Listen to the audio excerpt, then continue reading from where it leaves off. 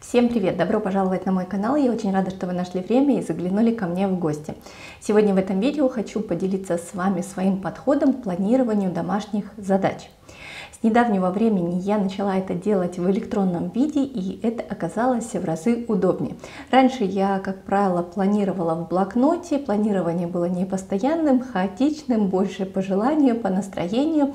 Сейчас же у меня выработалась определенная схема, а, которой я придерживаюсь. И вот э, планирование, скажем так, проходит в разы быстрее, проще уже по заданной структуре. А также можно использовать различные приложения, которые позволяют помогает вам структурировать всю эту информацию. Но если честно, я от них отказалась, потому что там либо нужно покупать платный аккаунт, а, либо ты постоянно просматриваешь эти рекламные ролики, которые ужасно раздражают, отвлекают, и на планирование уходит очень много времени, или просто чтобы заглянуть туда, посмотреть, какие задачи у тебя стоят на сегодня, тебе сначала нужно просмотреть пару рекламных роликов.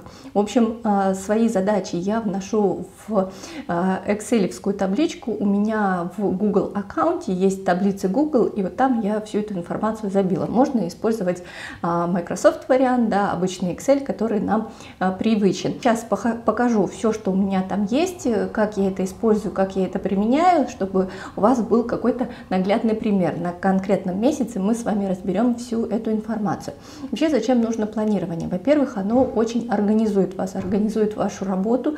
Соответственно, у вас есть задачи на каждый день, на каждый каждую неделю, на каждый месяц, и уже меньше возникает желание скажем так, похалявничать, да, соответственно, вы все видите наглядно, представляете и понимаете, какой объем вам нужно выполнить. И второй момент, это не, за счет этого вы не упускаете какие-то задачи из виду, да, потому что очень сложно держать весь этот объем в голове, что вам нужно сделать, и, как говорится, вот опять же у вас будет наглядный вариант. И когда все делается поэтапно, когда вы правильно все распланировали, уборка уже не кажется чем-то таким ужасающим, а вам не нужно тратить 3-4 часа времени на уборку за раз, потому что вы все разбили по небольшим кусочкам и выполняете эти задачи постепенно в течение всего месяца. Давайте более детально покажу вам, как выглядит моя таблица. А, здесь есть отдельно список задач, где внесены абсолютно все задачи, которые мне необходимо выполнять по дому, и также я а, проставила частоту выполнения. И дальше идут отдельные вкладки по месяцам. Соответственно, давайте рассмотрим на примере текущего месяца, это август. А, и вот такую табличку я копирую из месяца в месяц. Здесь у меня стоят реальные даты, чтобы была конкретная привязка к дню недели. И, соответственно, в последующем, допустим, я копирую эту таблицу. Сентябрь у нас есть, вставляю ее сюда. Вот, и получилось таким образом. Соответственно, здесь я меняю уже просто единственное числа, да, в соответствии, опять же, а, с текущим календарем. А, ну, а эти задачи у меня остаются, что-то я удаляю, а, какие-то несколько задач вношу, но это, как правило, единичный случай. То есть, по сути, на планирование теперь у меня уходит буквально, там, я не знаю, 5 минут максимум, чтобы создать э, календарь задач на следующий месяц. Список задач я составляла следующим образом. Я брала конкретную комнату и смотрела, что мне необходимо в этой комнате выполнять выполнять. соответственно, так я ничего знаю, что я точно ничего не упущу, и все задачи будут внесены в этот список. И потом я их уже начала ранжировать по частоте выполнения. Например, вот утреннюю, вечернюю уборку я выполняю ежедневно, дальше у меня задачи идут раз в неделю, дальше, которые еще нужно реже выполнять, два раза в неделю, потом раз в месяц идет, три раза в месяц, ой, раз в три месяца и так далее. И дальше уже в течение месяца задачи у меня распределяются следующим образом. Соответственно, ежедневно у меня есть утренняя уборка, как вы видите, она идет каждый день с понедельника по воскресенье. И также есть вечерняя уборка. Я максимально попыталась освободить э, выходные, субботу, воскресенье, это когда у меня отдыхает муж, чтобы нам проводить время с семьей, тем более сейчас лето, поэтому все задачи я разделила с понедельника по пятницу. То есть понедельник, с понедельника по пятницу у меня самый плотный такой график. Что мне включается в утреннюю и вечернюю уборку, это просто навести, как я говорю, визуальную чистоту в квартире, разложить все по своим местам, с утра заправить кровать, ввести квартиру квартиру к соответствующему виду. Вечернюю уборку я делаю вообще очень быстро, просто прохожусь по комнатам, раскладываю все на свои места. И основной акцент у меня идет на ванную комнату, туалет, и я ее совместила с купанием дочки. Раньше очень часто вечером ее муж купал, сейчас это делаю я, пока там она играется, плескается, и, соответственно, мы с ней параллельно разговариваем, я навожу а, марафет. Соответственно, очищу раковину, смеситель, унитаз, а, подготавливаю комнату к утру, потому что гораздо приятнее да, приходить с утра а, в эту комнату, когда все чисто и аккуратно. Уходит у меня где-то на это 10-15 минут, соответственно, вот время купания дочки. Еще из постоянных задач у нас, конечно же, есть уборка пылесосом и мытье полов. Здесь у меня следующий подход, я разделила, в один день я тоже это не делаю, в понедельник у меня, как правило, идет уборка пылесосом, в вторник я мою полы, в среду ничего не делаю, в четверг опять уборка пылесосом, мытье полов в пятницу субботу, воскресенье а, я не выполняю эти задачи, потому что, как правило, нас не бывает дома, мы в основном где-то находимся а, на улице, соответственно, пыли особо много не накапливается. Влажную очистку поверхности я делаю в тот день, когда делаю уборку пылесосом. Мне кажется, это правильно, потому что при уборке пылесосом в любом случае пыль немножко поднимается, поэтому потом я поверхности через какое-то время очищаю влажной тряпкой. Когда я мою полы во вторник, я делаю сухую очистку поверхности, просто чтобы их освежить. У меня такая есть щеточка, там за 3 минуты прошел, смахнул пыль и в порядке. И то же самое у меня повторяется, получается, в четверг и в пятницу. В среду, так как у меня нет вот этих основных задач, я поставила объемную такую задачу помыть душевую кабину. Раньше я ее мыла, когда делала уборку в ванной комнате, но по времени это много занимало, меня это не устраивало, плюс я уставала, поэтому вот эту объемную задачу я а, выделила отдельно, и теперь я душевую кабину мою только раз в неделю, это в среду. Конечно, там все-таки э, к воскресенью она уже далеко не самая идеальная и чистая, но мне устраивает такой вариант, мне надоело ее надраивать без конца и края, поэтому вот стараюсь как-то э, в себе подавить вот это желание все довести до блеска и идеала, поэтому мою ее только только по средам, получается, раз в неделю. Еще из постоянного это замена постельного белья. То есть э, белье я меняю раз в неделю. У нас две спальни. Соответственно, опять же, я их разграничила. А, в понедельник меняю в первой спальне, в четверг меняю во второй спальне. И, кстати, замену постельного белья я делаю в день, когда я делаю уборку пылесосом. Потому что, как правило, летят перья, пыль. Вот обратите внимание, после смены постельного белья, посмотрите на поверхность прикроватной тумбочки. Там пыли будет просто караул. В общем, мне кажется, опять же, это целесообразно. С утра я поменяла белье и потом уже делаю уборку пылесосом. И дополнительно второй раз в неделю я делаю замену наволочек. Соответственно, вот в первой спальне, например, в понедельник я поменяла белье, в четверг в этой же спальне я меняю наволочки. Ее я э, стираю в тот же день, как и поменяла. Соответственно, вот я заменила постельное белье в понедельник в первой спальне, я его сразу постирала. Точно так же и во второй спальне. То есть я не оставляю его, не коллекционирую. А вообще стирка у меня стоит по воскресеньям. То есть каждую неделю в воскресенье у меня стирка. Соответственно, все, что накопилось за неделю, я это все стираю в воскресенье. Я не знаю, многие стирают каждый день. Мне, если честно, нечего стирать каждый день. Я не представляю, это сколько белья, несмотря на то, что даже дочка как бы у меня маленькая. А в любом случае у нас несколько комплектов там одежды. Теперь бы... давайте пройдемся, наверное, по конкретным комнатам и посмотрим, да, что какие дополнительные задачи у меня есть еще и как я их выполняю и почему я их включаю сюда.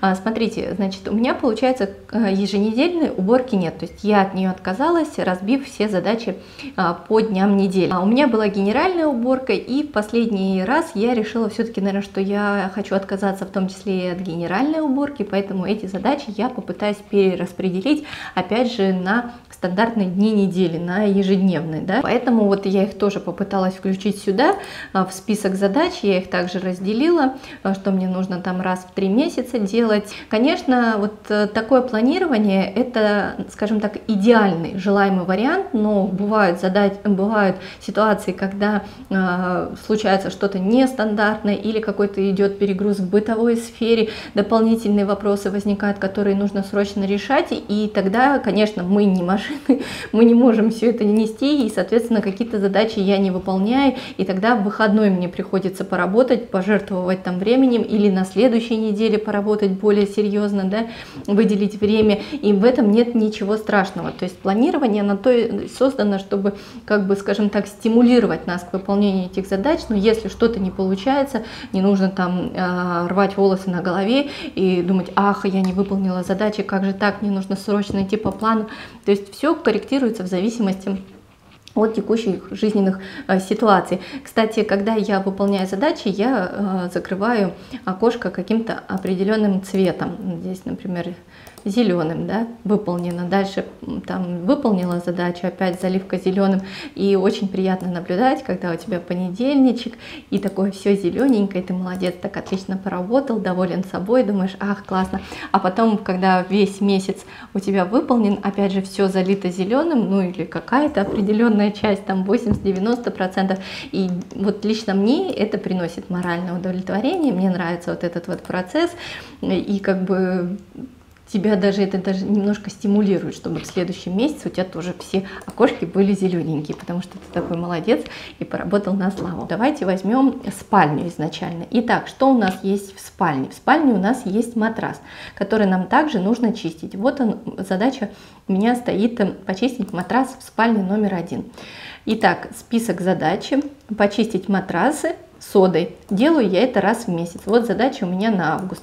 Понедельник 10 числа это спальня номер один. Так, еще идем э, в спальне. У нас, конечно же, стоит шкаф у многих. Соответственно, опять же, у меня две спальни. Привести в порядок шкаф в спальне номер два у меня стоит на вторник, 11 число. Привести в порядок шкаф в спальне номер один на вторник, 4 число. Опять же, эту задачу я выполняю раз в неделю.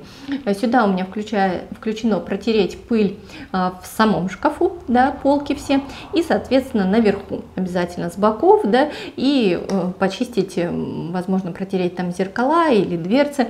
А, я не включаю сюда никакое расхламление, переорганизацию и так далее и тому подобное. Дополнительная задача у меня есть только в связи со сменой сезонов. То есть сейчас вот осенью я буду менять гардероб, и это я выделю как отдельную задачу.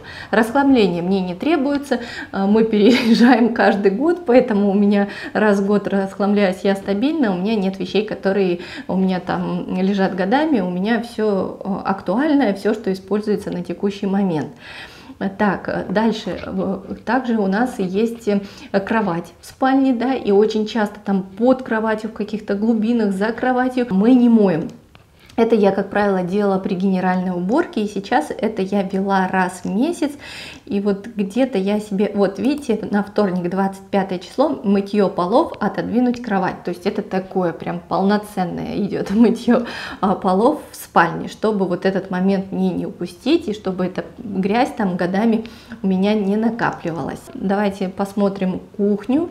На кухне также у нас есть разные шкафы и ящики. Вот уборка в ящике ящике под мойкой у меня стоит э, так, э, вот в ящике под мойкой два раза в месяц, а, потому что у меня там грязь без конта, даже иногда бывает, я если вижу какие-то, а, какая-то грязь появляется, я могу и вне планово там протереть, потому что там действительно скапливается очень много крошек, вот эти брызги, грязь, это все видно, и вот его я стараюсь держать в максимальной чистоте, плюс, конечно же, запахи, в общем, по плану у меня стоит два раза в месяц, но, как правило, я делаю там уборку чаще. И вот у меня она указана на вторник, 4 число.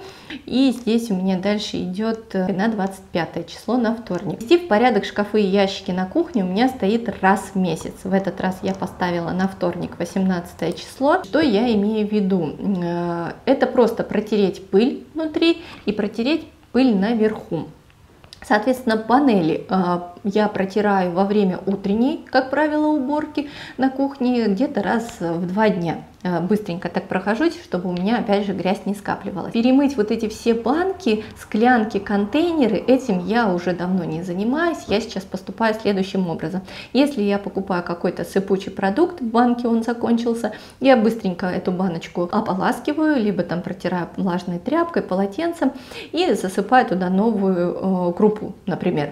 Соответственно, так у меня периодически поддерживается порядок и с обновлением какого-то продукта у меня меня убирается, э, наводится порядок в этой емкости. Мне кажется, это супер-мега удобно. Потратил один раз там лишнюю минуту, но при этом тебе не нужно выделять отдельное время, чтобы перемыть все эти банки, перебрать все корзины, перемыть контейнеры и, соответственно, все это расставить, досыпать. А чтобы освободить эти банки, помыть, тебе нужно, естественно, все пересыпать в какие-то другие емкости. В общем, такими вещами я уже не занимаюсь и стараюсь вот по мере появления убирать по факту. Ну и, соответственно, на текущий момент у меня на кухне находится просто идеальный порядок. А на текущий момент мне все устраивает, у меня все удобно и, соответственно, порядок просто, ну вот он там постоянно есть. Хаос не образуется, бардак не образуется, потому что у каждого предмета есть свое место. Как бы мне не требуется расхламление, мне не требуется наведение какого-то дополнительного порядка. В общем, задайтесь вопросом, наведите на кухне в ящиках и в шкафах порядок идеальный раз и навсегда, и тогда у вас, эм, ну, вам не потребуется генеральная уборка на кухне, потому что и так все уже разложено по полочкам. Холодильник у нас, кстати, также есть на кухне. И вот здесь у меня такой подход. А, давайте вернемся в список задач. Разморозить холодильник раз в 3 месяца. Это конкретно разморозить, посмотреть, что там в морозилке, перебрать, все хорошенечко перемыть. А свежаю холодильник я раз в неделю. Мы закупаемся в супермаркете по субботам с утра. Соответственно, утром я быстренько, вот видите, мне на каждую субботу стоит помыть холодильник, но это так, протереть лотки, которые у меня там есть, э, прозрачные, соответственно, дверцу протереть, немножко освежить, чтобы когда мы приезжаем из магазина, я уже сразу могла а, выложить продукты и не тратить время на убор. Также я, когда распределяю задачи, я, конечно же, стараюсь не перегружать дни, то есть чтобы все было как бы плавно и объем задач а, соответствовал каждому дню.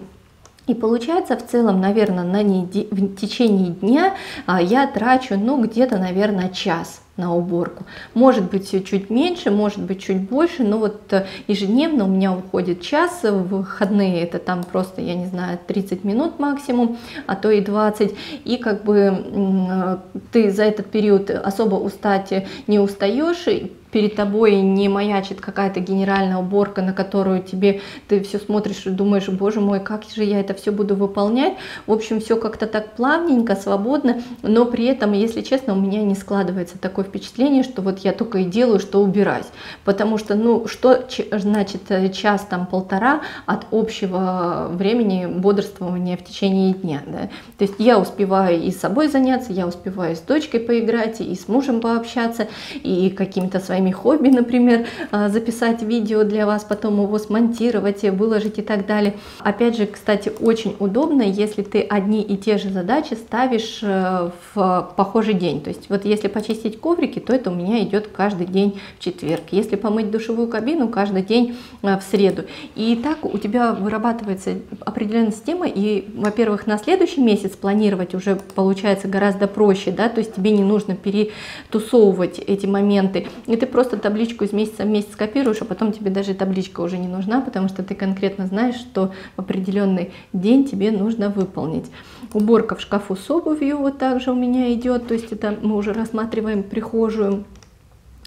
А, в гостиной есть э, почистить диван пароочистителем, я также ставлю, плюс у меня еще идет а, стирка чехлов, потому что на диване чехлы сменные раз в три месяца. Ну вот это, наверное, основные задачи, да, и на выходные вот что я поставила. Например, а, если я что-то планирую дополнительно, то, скорее всего, я ставлю это на выходные. Например, организовать хранение постельного белья. Это не постоянная у меня задача, ее нужно делать постольку поскольку, но вот сейчас сейчас этот момент меня не устраивает, поэтому я буду переорганизовывать. А в будни эту задачу я никуда, к сожалению, уже поставить не могу, потому что у меня все заполнено. Приходится ставить выходные, но это бывает разово. Навести порядок настольной косметички. Тоже вот э, как бы задача не поместилась у меня в будний день, поэтому я ее поставила Выходной, ну, не слишком такая объемная задача, я думаю, что можно уж потратить там 15 минут, 10-15 э, минут навести порядок. Вот в субботу выделила такую более объемную задачу, это постирать декоративные наволочки и пледы. Соответственно, все это нужно освежить. А, естественно, потом, когда это все высохнет, нужно погладить, опять разложить на места. На этом у меня все. Надеюсь, это видео было для вас интересным и полезным, и какую-то информацию вы возьмете себе на заметку. Если остались вопросы, смело задавайте задавайте их в комментариях, я постараюсь ответить на каждый. Подписывайтесь на канал, если вы еще не подписаны, нажимайте на колокольчик, и тогда вы будете в числе первых, кто получает оповещение о моих новых видео. Также не забудьте поставить пальчик вверх. Увидимся в следующих видео. Пока-пока!